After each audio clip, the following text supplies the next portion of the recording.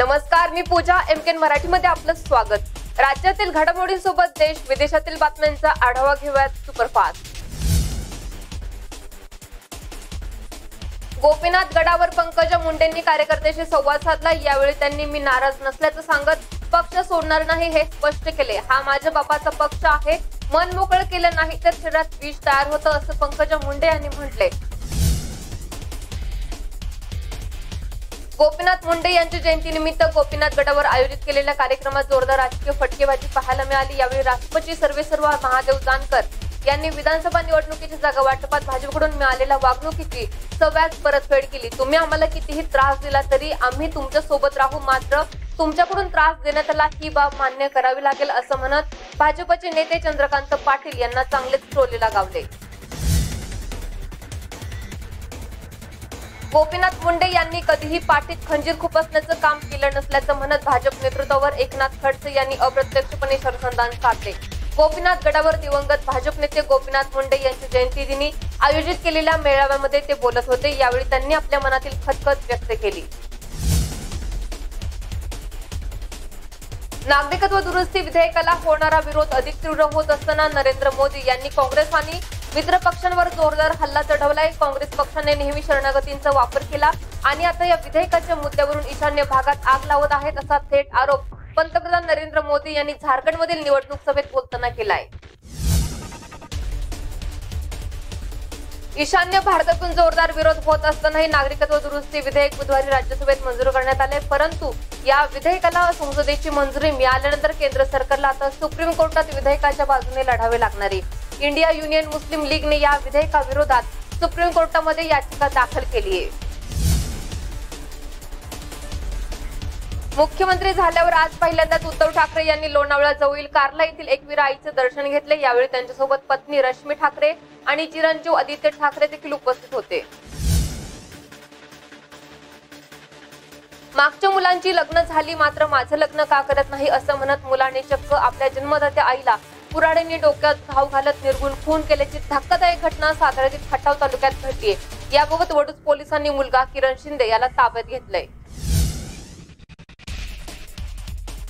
जालना जिल्ह्यातील बदनापूर पोलीस ठाण्यात कार्यरत असलेल्या भ्रष्ट आणि खोटे गुन्हे दाखल करणाऱ्या महिला पोलीस उपनिरीक्षक रंजना पाटील यांना गुन्ह्यातून नाव कमी करण्यासाठी पन्नास हजारांची लाच घेताना अँटी करप्शन ब्युरोने रंगेहात पकडले या कारवाईमुळे पोलीस दलामध्ये खळबळ उडाली आहे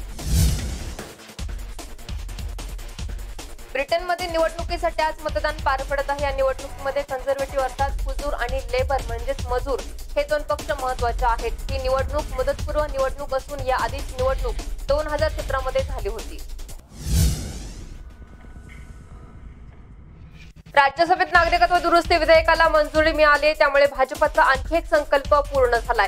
या निर्णयावर काँग्रेसच्या हंगामी अध्यक्ष सोनिया गांधी यांनी नाराजी व्यक्त केली आहे. आज भारतीय संविधानाच्या इतिहासाचा काळा दिवस पाहण्यास मिळाला. नागरिकत्व दुरुस्ती विधेयकाला मिळालेल्या मंजुरीमुळे कोत्या मनोवृत्तीच्या आणि धर्मांत शक्तीच्या लोकांचा विजय झाला अशी टीका सोनिया गांधींनी भाजपवर केली आहे. महिलांच्या सुरक्षेसाठी आंध्र प्रदेश सरकार नवा कायदा आणण्याच्या तयारीत आहे. नव्या कायद्याअंतर्गत बलात्काराचा आरोप सिद्ध होणाऱ्या आरोपीला एकवीस दिवसांमध्ये फाशीची शिक्षा देण्यात येणार आहे. बुधवारी आंध्र प्रदेशच्या मंत्रिमंडळाने या विधेयकाला मंजुरी दिली. एफ आय आर दाखल केल्यानंतर एकवीस दिवसांमध्ये ट्रायल पूर्ण करून फाशीची शिक्षा देण्यात येणार असल्याची तरतूद या विधेयकात करण्यात आली आहे. आंध्र प्रदेशच्या विधानसभेत आता हे विधेयक मांडण्यात येणार आहे. मुख्यमंत्री उद्धव ठाकरे यांनी कारभार हातात घेतल्यानंतर काही प्रकल्पांना स्थगिती दिली त्यातच आता मुंबई पुणे हायपरलूपला स्थगिती मिळण्याची शक्यता आहे. दरम्यान हा सार्वजनिक पायाभूत सुविधा प्रकल्प मार्गी लागावा तसेच या प्रकल्पासंबंधी काही असलेले गैरसमज दूर करण्यासाठी आणि राज्यातील नवनियुक्त सरकारला या संबंधीची पूर्ण माहिती देण्यासाठी ब्रिटनचे अब्जवधी रिचर्ड ब्रॅन्सन हे राज्याचे मुख्यमंत्री उद्धव ठाकरे यांची भेट घेणार आहेत.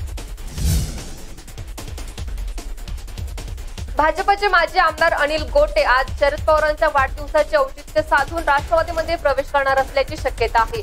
धुळ्याचे भाजपचे माजी आमदार अनिल गोटे यांनी एप्रिल महिन्यात पक्ष सदस्यत्वाचा आणि आमदारकीचा राजीनामा दिला होता.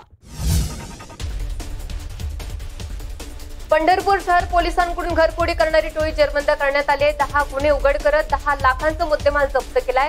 यामध्ये वीस तोळे सोने आणि एक किलो चांदीची विविध भांड्यांचा समावेश आहे. सर्व गुन्ह्यातील तपास आणि उकल करणाऱ्या पथकाला लवकरच बक्षीस देणार असल्याचं पोलीस जिल्हा प्रमुखांनी सांगितलंय. लोकसभेत नागरिकत्व दुरुस्ती विधेयकाला पाठिंबा देणाऱ्या शिवसेनेने बुधवारी राज्यसभेत विधेयकाच्या विरोधात भूमिका घेतली पण मतदानाच्या वेळी शिवसेनेचे तीनही खासदार गैरहजर राहिले. काँग्रेसच्या दबावामुळे शिवसेनेने विधेयकाला विरोध केला असला तरी प्रत्यक्ष मतदान विरोधात न करून एक प्रकारे सत्ताधारी भाजपला मदत केल्याचं चित्र निर्माण झालंय. नागरिकत्व दुरुस्ती विधेयक देशाच्या इतिहासात मैलाचा दगड ठरेल अशी प्रतिक्रिया पंतप्रधान मोदी यांनी व्यक्त केली आहे. राज्यसभेत विधेयक मंजूर झाल्यानंतर त्यांनी सर्व खासदारांचे देखील आभार मानले. लोकसभेनंतर राज्यसभेत नागरिकत्व दुरुस्ती विधेयक मंजूर झाल्यानंतर आता या विधेयकाचे कायद्यात रूपांतर करण्यासाठी केवळ राष्ट्रपतींची सही आवश्यक आहे मात्र लोकसभा आणि राज्यसभा या दोन्ही ठिकाणी या विधेयकाला कडाडून विरोध करणाऱ्या काँग्रेसने या विधेयकाला आता कोर्टात आव्हान देण्याचं ठरवलंय. भाजपाचे स्वर्गीय नेते गोपीनाथ मुंडे यांच्या जयंतीनिमित्त आज गोपीनाथ गडावर जयंत कार्यक्रमाचे आयोजन करण्यात आलंय. या निमित्ताने राष्ट्रवादीचे नेते धनंजय मुंडे यांनी ट्विट करत गोपीनाथ मुंडेंना श्रद्धांजली वाहिली आप्पा तुमचाच वारसा चालवतो आहे जनसामान्यांच्या कल्याणाचा. सदैव आपल्या आठवणीत जयंतीनिमित्त विनम्र अभिवादन असं ट्विट धनंजय मुंडे यांनी केलंय. स्वर्गीय गोपीनाथ मुंडे यांच्या जयंतीनिमित्त परळीतील गोपीनाथ गडावर जयंत कार्यक्रमाचं आयोजन करण्यात आलंय. या कार्यक्रमात भाजपा नेत्या पंकजा मुंडे कार्यकर्ते आणि जनतेशी संवाद साधणार आहेत. येत्या बारा डिसेंबरला गोपीनाथ गडावर भेटू असं भावनिक आवाहन त्यांनी केलं होतं. त्यामुळे आज त्या नक्की काय बोलणार याकडे सर्वांचंच लक्ष लागलंय. कांद्याला जादा दर मिळत असल्यामुळे शेतकऱ्यांकडून झालेली मोठी आवक जादा दरामुळे ग्राहकांनी फिरवलेली पाठ. यामुळे कांद्याचे दर गेल्या चार ते पाच दिवसात निम्म्यांवर येऊन ठेपले आहेत. कांद्याच्या दरात घसरण सुरू झाल्यामुळे पुणे कृषी उत्पन्न बाजार समिती चाळीस ते पासष्ट रुपयांपर्यंत कांद्याचे दर घसरले. जो कधी सुट्टी पाहून सिनेमा रिलीज करत नाही तर तो फिल्म करतो आणि सुट्टी जाहीर करतो अशा साऊथ फिल्म इंडस्ट्रीचा बॉस अर्थात सुप्रसिद्ध रजनीकांत यांचा आज सदुसष्टावा वाढदिवस. दक्षिणेतील देव अशी ओळख म्हणजे रजनीकांत. यांना वाढदिवसानिमित्त ट्विटरवर अनेक बॉलिवूड कलाकारांनी शुभेच्छा दिल्या नागरिकत्व दुरुस्ती विधेयक प्रचंड विरोधानंतरही लोकसभेपाठोपाठ अखेर राज्यसभेमध्ये मंजूर करण्यात आले. विधेयकाच्या बाजूने एकशे पंचवीस मतं पडली तर विधेयकाविरोधात एकशे पाच मतं पडली दरम्यान लोकसभेत विधेयकाच्या बाजूने मतदान करणाऱ्या शिवसेनेने राज्यसभेत मतदानावेळी सभात्याग करून आपला विरोध दर्शवला आहे लोकसभेनंतर राज्यसभेत नागरिकत्व संशोधन विधेयकाला मंजुरी मिळाली आहे पण या विधेयकावर अनेक प्रश्न उपस्थित होत आहेत. हे विधेयक मंजूर झाल्यानंतर राज्य पोलीस दलातील आयपीएस अधिकारी अब्दुल रहमान यांनी नागरिकत्व सुधारणा कायद्याच्या निषेधार्थ तडकाफडकी आपला राजीनामा दिलाय. रहमान यांनी आपल्या ट्विटरवरून ही माहिती दिली आहे. अयोध्या खटल्याच्या निकालाच्या फेरविचारासाठी दाखल केलेल्या याचिकांवर आज सर्वोच्च न्यायालयामध्ये सुनावणी होणार आहे.